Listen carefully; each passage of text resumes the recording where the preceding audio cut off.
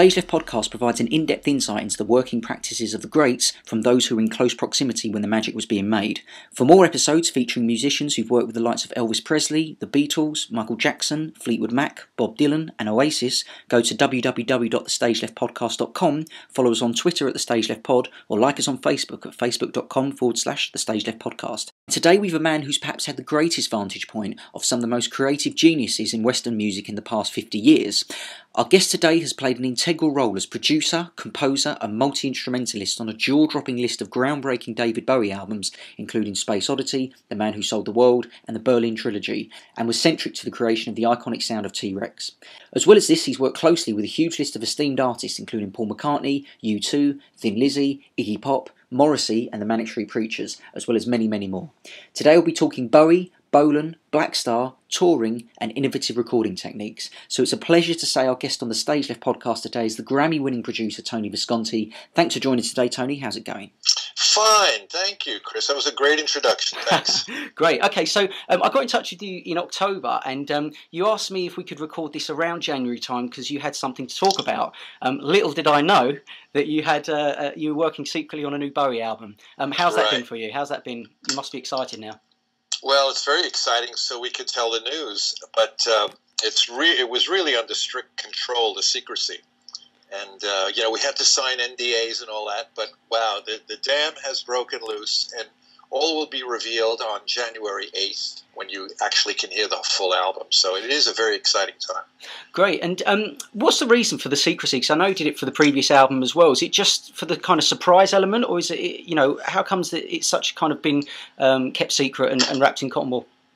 Well, uh, a lot of people are doing that. We're not the only ones doing that. It's it's a matter of like professional uh, secrecy because we don't want people to know we're making an album there are spies everywhere, and if people got an inkling that we were doing that, they would somehow pay off the right person and get a rough mix or something like that. The other reason is that I think David uh, likes to not to have that pressure on him. If he announced that he was making an album, he I think he would personally feel too much pressure. So we announced that we have an album when, when we know we have an album. We know it's finished, you know, not before. Um, so I've heard a couple of songs off it. Uh, Lazarus and Blackstar have both been released, I think. Um, both very compelling listens. Blackstar is a, 10-minute masterpiece for who haven't heard it yet. A constantly evolving piece of music going in subtle different directions. Um, I wonder if you could tell us about recording that one and, and how that song came about. That song was actually one of the first songs we recorded uh, during the uh, we, we did the, we did three separate sessions, uh, one in uh, January, February, and March. Blackstar was in the first group of sessions, and um, it wasn't. Uh, I, I, had heard some of the songs that we were going to record, but Blackstar was written at the very end of David's uh, demos, when making of his own demos. So when he brought it to the studio, it was a complete surprise to me too. I hadn't heard it before. It's a ten-minute song. We had to record it in two sections, and uh, I think section two was done the following day. So it was quite an elaborate production, as, as you you can guess from hearing it. Yeah, so it's, it's an amazing song, um, and the drums are really interesting on it. Um, who's playing drums on this record? A wonderful genius drummer called Mark Guiliana. He's from uh, Queens in uh, New York City, and uh, he's he's only in his thirties. But you could tell he grew up. He's a, he's not only an accomplished jazz player, but he's he's listened to hip hop, and obviously he's listened to David Bowie when he was growing up too. And what was the decision to uh, get a new band in and, and, new people? Was it a fresh start, or was it just to get a, a different angle from them? Well, David traditionally does this. Uh, I haven't produced all his albums, and I might only learn at the last minute that I'm not going to produce the new one.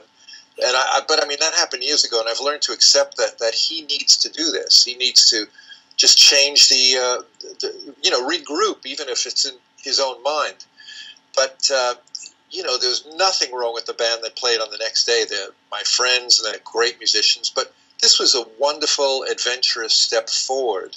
And he did want to make an album that had jazz uh, kind of roots in it. Uh, he and I both loved jazz since we were teenagers. We discussed this the day I met him. You know, in uh, 19, I think 68 or 67, that we were both jazz fans. And we had this in the back of our minds all, all this time. We finally found the right people to make the record with.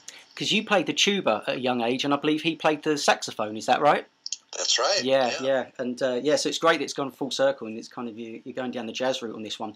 Um, you, in the past, you've spoken about the importance of pre-production meetings uh, as they allow you to, in your own words, cook up a recipe. Um, what were the result of the meetings for for Blackstar? Um, and you know, what was the blueprint for this album? What did you want to do or avoid doing on this album? Well, again, we wanted to go for a fresh sound, and we had an experimental recording session uh, early in uh, 2014 with uh, David's uh, another drummer who plays with David, Zach Alford, and uh, I brought along a keyboard, uh, a jazz pianist friend of mine, Jack Spann, whom I met recently uh, at the time, and I, myself on bass. So that was when the pre-production began. We we knocked out about uh, six six songs in about a week, but maybe five days, and a lot of those, almost all of them, made the Blackstar album uh, so the, the band learned our demos. Donny McCaslin's band heard our demos. And uh, if they didn't make the Blackstar album, they made the musical Lazarus. So I, I really believe all six songs were used. A couple of the songs were put on the compilation album last year, is that right? So Sue or Season Seasoning Crime and. Uh, tis, a, um, tis a pity she was a whore. Yeah. That's, that's right. But but these are you know very different versions. Oh, she re-recorded them, right? So they're new yeah. new versions. Great. Okay. And tell us a bit about the songs we might not have heard. So, "Girl Loves Me," "Dollar Days," I, I can't give everything away. Can you tell us a bit about those? Because no one's heard them yet. Well, "Girl Loves Me" is a, a real great rock song. It's a slow, slamming rock song, and uh, there's uh, he's actually written a special language for that song. The lyrics are quite amazing but roughly based on the uh, I, I, forget what it's called, but the the language in um, Clockwork Orange. Oh right, okay, yeah, he's, yeah. He's used he's borrowed some words from that, and he's borrowed some words from the old uh, Soho dialect called Polari. Right. I think. Uh, you know, and I'm a Yank, and I know all these things, which is quite amazing. But but but the way he, he weaves a story about girl love and girl loves me, that's just it's almost science fiction. It's so amazing. I think everyone will love that track. Can't wait to hear it. Um, and how does being in the studio with David now differ to, to when you first started working with him? Uh, it hasn't changed one bit. He's the same person. He's uh, every time I look at him, I see the 19 uh, year old guy that I met in uh, so in on the West End in London. He's the same person. Uh, he he doesn't well, you know, he's really got a good attitude in the studio where other people might be very nervous and worry and all that. He, he's always been gracious and easygoing. I mean, he puts everyone else at ease. He's probably the most relaxed person in the studio. I might be biting my nails worrying about the microphones and the setup and all kinds of details and all that, but he really is very relaxed, very calming. He's got a very calming effect and the other thing about him is he he's such a great singer, and he was a great singer when I met him years and years ago. That when he gets up the mic in front of the mic, he only sings the song about two or three times. He he doesn't do like twenty five takes like other people do. He's so good, you know. He, the, the, first time is usually great, and then uh, when he sings it the second and third times, it's sheer luxury for me. Great, that's that's a fantastic insight. And what could a young musician specifically learn from David Bowie that they wouldn't learn from other artists, um, having worked with him so closely? Well, one thing David does is that he's always looking to the future. And I, I think a lot of young musicians try to recreate the past. Uh, you know, they want to, like rock, for instance, is pretty stale right now. It has been for a long time because people still want to make a, a rock and roll record based in the 70s uh, I don't know, they want to imitate Marc Bolan and Lizzy, you know, other people that were, and that's all well and good, but but that is a like that that is that has been crystallized that style. You have to bust outside of the boundaries, do something new and original. And my, my formula is if you want to make music that people, um, you want to grab people's attention, you have to mix it with 50% of what's been and 50% new creation out of your head this way, you know, if it's a hundred, I mean, some people are so far out, they, they, they could come up with something that sounds like it was recorded on the planet Mars, you know, hmm. by Martians. That's not going to sell. you got to have half Martian, half Earthling. That's my that's my formula. Love it. And um, actually, that's an interesting point because have you found yourself in the past where you've had pressures from, say, record companies or people with commercial interests uh, in an album, and you kind of working with someone who's really, really artistic and ex- experimental, like Bowie? Um, how how have you dealt with that situation, or what advice would you give to producers in that situation? Well, I used to get that a lot, and um, but in the '70s it was a real different situation, Chris. It, in the '70s, you didn't get signed unless you were far out you know, they, they were actually looking for people who had something fresh and new, and that was certainly the name of the game. And we've got the Beatles to thank for that, because every time the Beatles made a new album, say from Rubber Soul to Revolver and all that, it was radically different, and you wouldn't com- call it commercial at first. The only thing that makes a record commercial is not the sound of it; it's when people start buying it. Then it's commercial. And then the record labels take they perk up and notice oh you like that? Oh okay we'll get we'll get people who do that whatever that new thing is you know. So people are deceived that they feel uh, like till this day record labels think if you have uh, the the uh, chorus comes within 30 seconds of the intro and all this stuff. They think there's a formula. There is no formula for, for a hit record. There is absolutely no formula.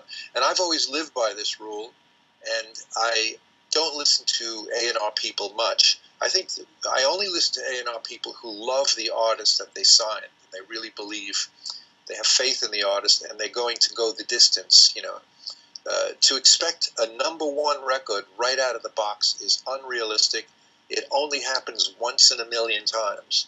So uh, I think we should just come to the everyone, the labels and myself, that we live in a musical culture here that really needs nurturing and it needs new input all the time, fresh input, not the same old stale formulas.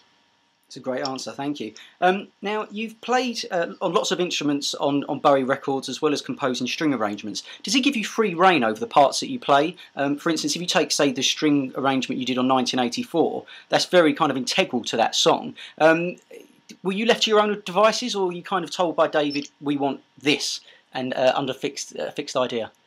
Well, his he's great. Uh, that is that's all my own writing. But he said before he said, Tony, I want uh, listen to Barry White, then then write those strings. So I said, you know, and I, I love the fact that David thinks I can do anything, but I never even tried that before. I never even wrote like that. So that's not even my generals in, in my general style.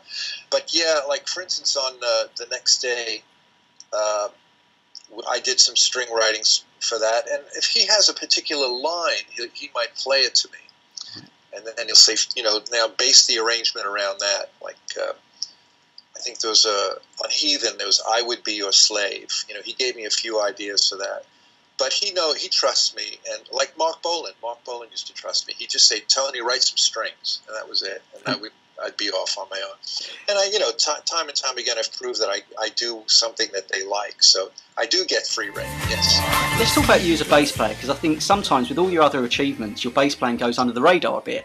Um, and I mean, I was listening to Man Who Sold the World. I mean, your your, your bass playing on that is absolutely incredible, particularly on the verses.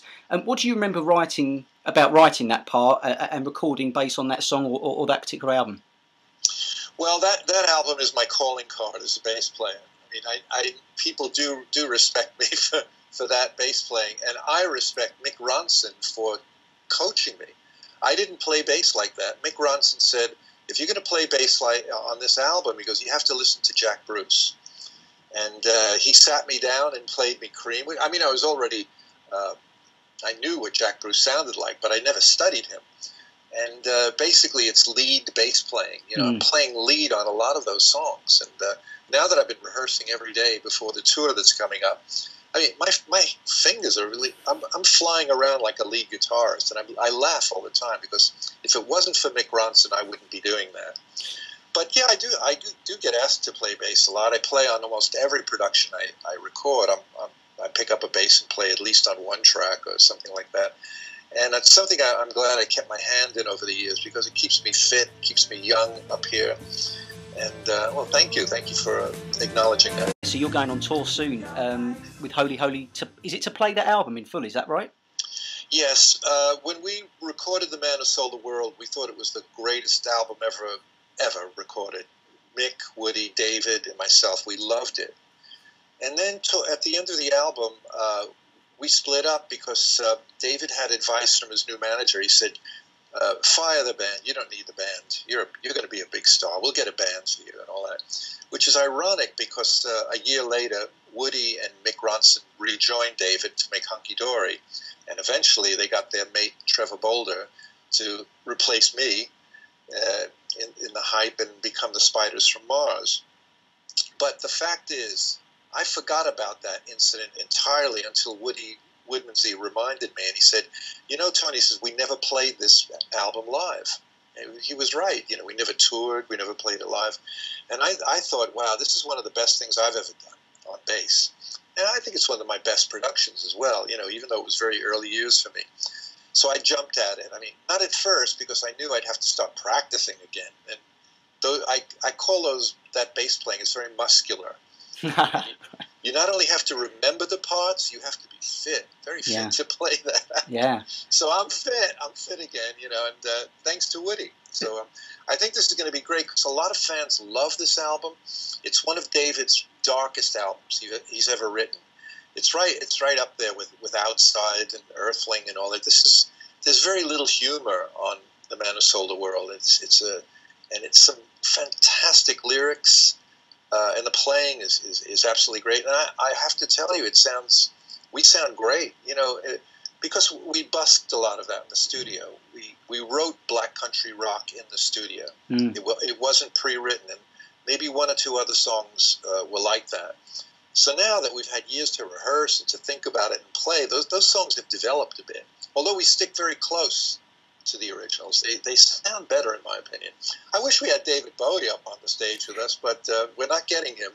So we have Glenn Gregory, who I think is so wonderful. He's brought something new to it. You know, we, we play the, this, the whole album a little lower in key to accommodate uh, uh, Glenn's big frame and big baritone voice, and it, it, it sounds even darker and heavier. So the fans love it. We we weren't sure at first, but after our first gig, we knew we had approval for Glenn.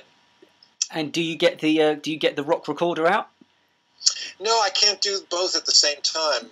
But of course. my daughter's my daughter's on stage with us. She's playing rock recorder. Oh, nice one! Oh, that's, that's we, good. We're keep, keeping it in the family. That's it. I, I love it. Um, okay, and you're playing. Uh, we'll come to this at the end, but you're, you're you're playing a number of dates in America and one in Canada. Is that right? Coming in? Uh, yeah, we're playing eleven dates in all. One in Canada, one in Toronto, and uh, it's a field field tour. We're trying to feel if we we we have uh, fans enough fans in America to pull this off. I know we have a lot of fans in the UK, and rightly so.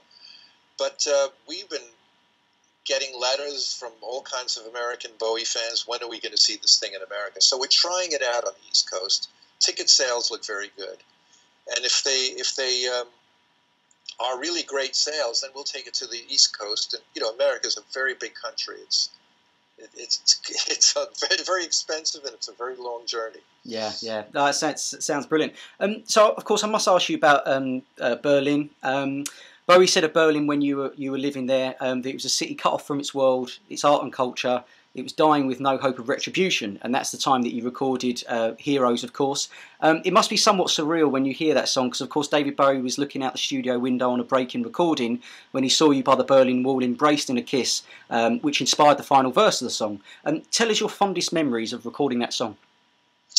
Well, uh, Heroes was recorded about two weeks earlier than when he wrote the lyrics. We just had this song in the key of D uh, we it, it, sounded lovely. It was long and meandering because we never knew when to stop. So the, the version that I think it, I think you have almost every note on the album version. It got close to seven minutes. And we still didn't really understand what uh, where the verses were, where the choruses were. So we kept overdubbing on it. Robert Fripp came in and did all the beautiful uh, EBow feedback. Well, it sounds like EBow, but it, he did it with just feedback, all the, his high guitar parts. And we still didn't know what, where the verses and choruses were. It had no lyric, no melody. And uh, so, of, of all the songs on the album, that's the one I am most fond of. because obviously, as you just said, I uh, uh, one of my uh, surreptitious uh, actions made it into the lyrics, you know, and I was told so.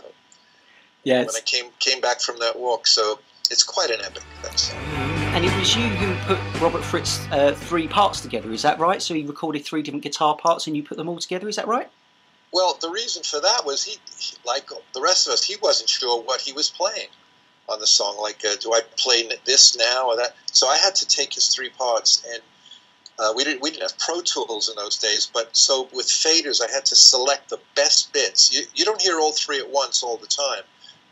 Probably most of the time, you hear only two two of them together. But then I would bring the third one in when it was appropriate, and uh, it was like painting a picture with his three separate guitar parts. And I did all that, still not knowing what the song was about.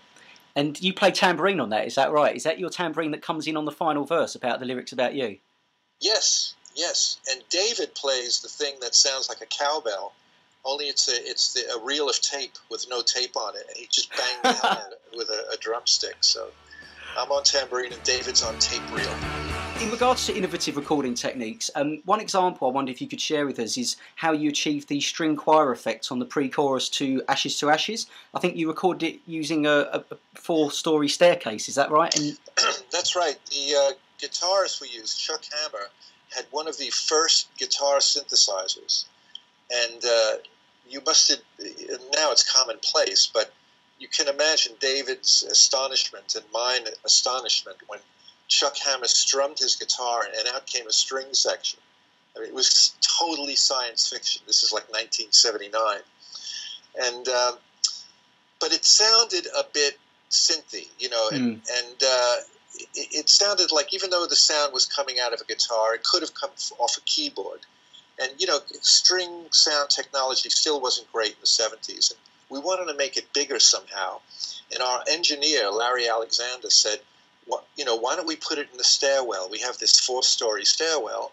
I could put some microphones downstairs, microphones upstairs, and that's how we got to make those the guitar synth sounds so spacious. So a lot of trickery went into that, but in the end, it was totally worth it. And the piano sound you get on the intro and the outro, so so unusual. How did you achieve that? Well, for years I've been an early user of um, uh, Eventide products, and I use the harmonizer for uh, the drum sound on low, the snare drum sound, which everyone couldn't figure out how that was done because I had the only harmonizer in the UK, and that's how I did it. But there's another thing. They, that, that company makes wonderful special effects, and they were really early in the game with special effects. So what we were doing, what we tried to do is we tried to get a stereo uh, Fender Rhodes piano to make that sound, but the studio Fender Rhodes was broken, and there, so that was it. We couldn't wait for the hire, the instrument hire, to bring one. So I said, let uh, the keyboard player. I said, let him uh, keyboard player from Bruce Springsteen's band. I said, let him play that on the piano, real old-fashioned piano. I'm going to put it through an instant flanger, and I know a, a stereo trick we could do with this. So I, I put it on extreme settings, and uh, the pianist played, and uh, we finally got it. It took about 10, 20 minutes to get that sound, but once we got the sound, we knew we were onto something brand new. Who needed the uh, Fender Rhodes piano? This was way better than the Fender Rhodes piano. It sounds absolutely great, and it's very, very iconic sound as well. Um, so you obviously have a very strong relationship with David, um, uh, and I know he was there for you during difficult times in your life, pre-Scary Monsters, um, and I know that you had a close relationship with Phil Lynott from uh, Thin Lizzy as well. Um, can you talk about any difficulties that might arise that you've had as producer when you've got close relationships in regards to compartmentalising the friendship and the professional duties when it comes to decision making in the studio? Well, that that's that is a, a, thin line to walk, and you know I have to give David his due. He is not only a good friend, but he's a great professional co- colleague as well. And that line between friendship and colleague is very, very blurred between us. I've, you know, I could eat lunch with him. I could. I even went on holidays with him years ago, and we uh, we went on a little skiing holiday at his invitation. But not so much with like Phil Lynott was a different problem uh, I loved the guy and I socialized with him. But you know, I've said it in my book, and I and I'm, I do not mind saying it again. I know it hurt some people's feelings, but he would his drug use was out of control, and uh, it was hard to. You know, I like to I like people to have a, a glass or two of wine when they sing, but because uh, it relaxes them. Every every opera singer does that. You know, it's, it's okay. You know, if you're nervous and all that. But what we were getting during the Thin Lizzy sessions were actually like a, a drinking club party. You know, a gentleman's drinking club.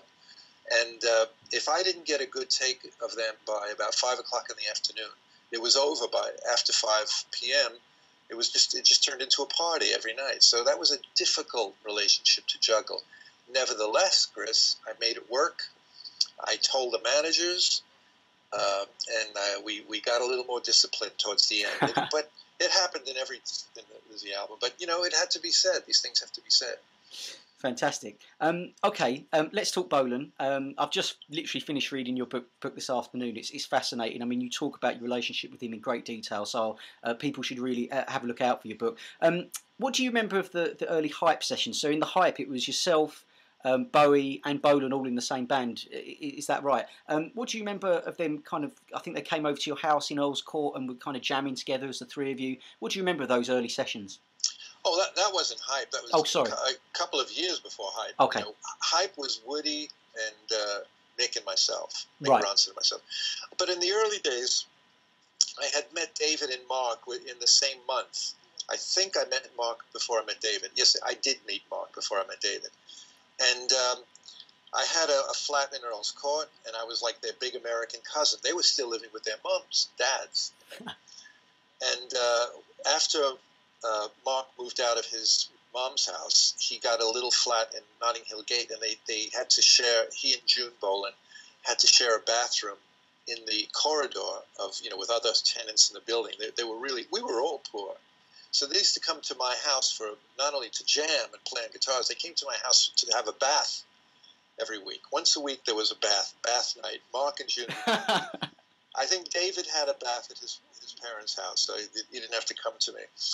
But uh, the jam sessions were great. Uh, I didn't have enough tape in those days to keep it running.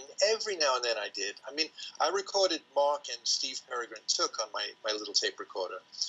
But being poor at the time meant you couldn't buy uh, tape, a lot of things you couldn't buy, food, tape. You know, sometimes it was you know, food tape. but we had some great times. I had two electric guitars, my electric bass. Marc and, and David would pick up electric guitars, and I would play my, my Fender bass, and we'd jam for hours on end.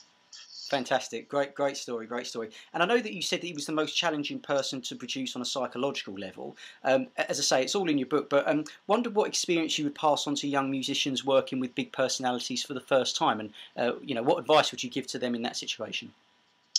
Well, if you're wor- working with someone who feels the need to be rude and dominate, you know, be domineering and, uh, inconsiderate and all that, you have to weigh. Uh, it's you, you have to weigh, the, you have to balance in your mind, is this worth it to, to put up with this? And in every case that I have put up with a very difficult personality, and I and there are more people Marc Bolan that I've had to work with. The truth is, they are the star. Their name is going to be very big on the record album, on the sleeve, and all that. Uh, that, that the fans love them. They they really don't care about the record producer and the engineering staff.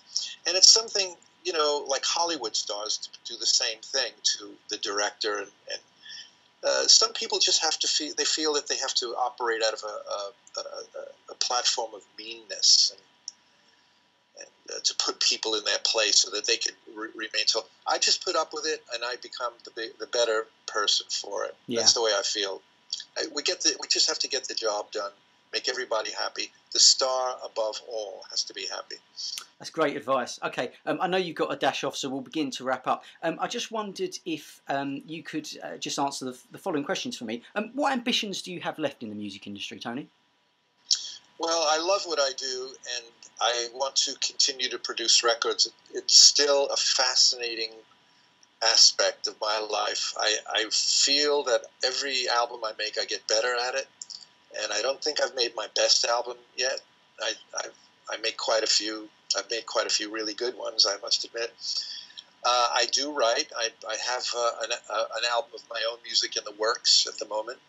I don't know when I'm going to release that on the public, but it has just a little ways to go. I've been writing for about six years now, but I produce so many records, I don't have time to to really finesse them. Well, you said that you've always wanted to be, uh, you know, when you were young, you wanted to be a singer or at least in a band. Um, surely now's the time to, to get something out with your own name on it and, and you performing on it.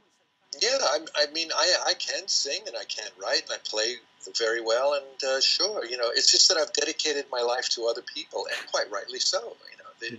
I, I don't begrudge any one second of time I've spent with Marc Bolan or Phil Lynott or David Bowie. It was well worth it. I mean, I, I love and respect those people. You know, they, they, they're some of the, they are the greatest pop, pop icons of our, of our time, you know. And, uh, so it's not any, that time wasn't wasted. But now maybe it's my turn.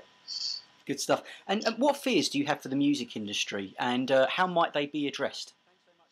Well, I think people in the music industry have become small minded. They're terrified. They, they operate out of a place of fear. And as I said earlier, you have to realize that this is a culture we live in. It's not a business. It's a culture. You can make money from culture. Uh, like Salvatore Dali, if he was told to paint every picture like the same as the, his last hit, he'd be out of business, and he would have been out of business in no time. If you if you uh, sign a, a, genius, you have to treat that person like a genius, and not like a, a, a tin of beans. You know, it's not a commodity you put on the shelf in a supermarket. Mm. So treat this culture that we live in with great respect and contribute to it. Don't don't uh, try to use it to make a quick buck. Great stuff. And um, so you're touring next week with Holy Holy, as you said, uh, in the States. Um, what do you think percentage likelihood we'll see David Bowie do the same? Well, he categorically told me around the time of the next day that he wasn't going to tour again. Mm and he said, if anyone asks, tell them that. Yeah, so I'm telling you. Any particular? What, how comes he's fallen out of love uh, of going on tour? Has he kind of said that to you? It seems such a shame. Well, he, I, I think it's he loves being on stage. It's just touring is exhausting.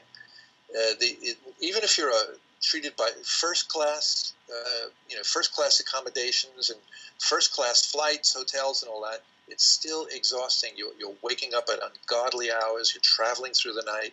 Uh, you pick up germs from hotels and all that. I think that's the part that nobody likes. And considering he's probably put on something like 10,000 shows in his lifetime, I think everyone's seen seen him. You know that needs to see him. They, I think now they just want to see him again. You know, and I don't blame them. But I, that's the part I know he doesn't like about touring. Yeah, that's it's in my wish this is just me talking, not him. I think he could uh, get one of those uh, cinema concerts where he's he's in one studio playing to an audience, say you know ten thousand people, and it would be broadcast all over the world. It would be recorded.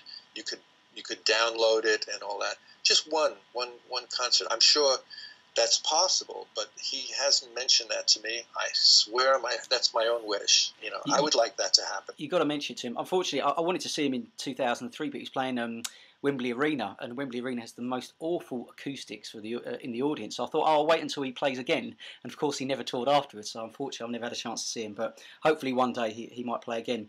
Um, okay, well, I'll let, I'll let, you go there because I know you have to dash off. Um, unfortunately, the sun machine is coming down, and we're going to have a party because it's we're recording this at 5 p.m. on New Year's Eve. Um, just want to say thanks for taking your time to be on the Stage Left podcast.